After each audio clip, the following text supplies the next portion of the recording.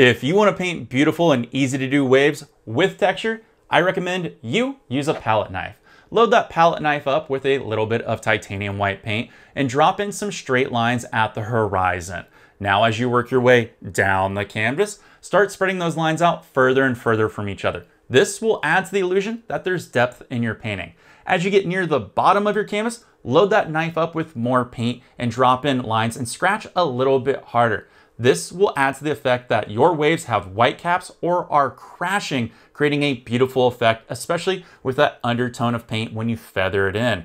Now you have easy, beautiful looking waves that only took you a few moments to make. Need any more help? You know what to do. Follow my channel.